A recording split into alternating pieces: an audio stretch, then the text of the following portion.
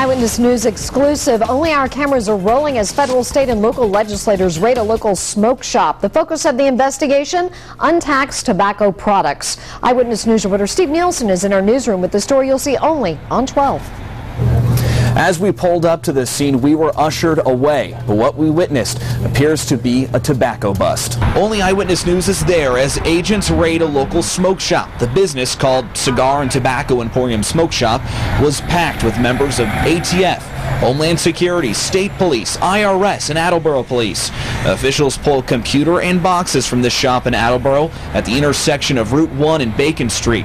Agents were also seen examining and taking pictures of what appears to be a shipment to the smoke shop. So far, the bust is being kept under wraps, but ATF agents have confirmed the investigation is about untaxed tobacco products.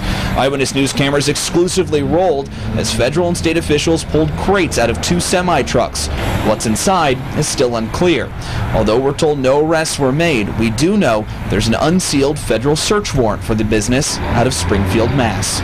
We're told by officials this is still under investigation and they won't release any more information until the investigation's complete. No word on how long that'll take. In the newsroom, I'm Steve Nielsen, Eyewitness News.